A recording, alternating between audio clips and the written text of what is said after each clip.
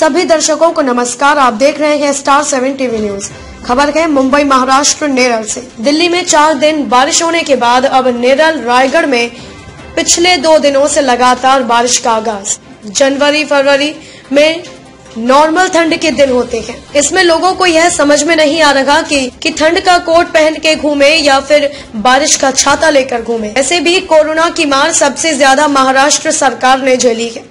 अब लोगों को समझ में नहीं आता कि कुदरत की मार से कैसे ज़िंदगी जी जाए। स्टार सेवन टीवी न्यूज़ की कवरेज संतोष गुप्ता की रिपोर्ट।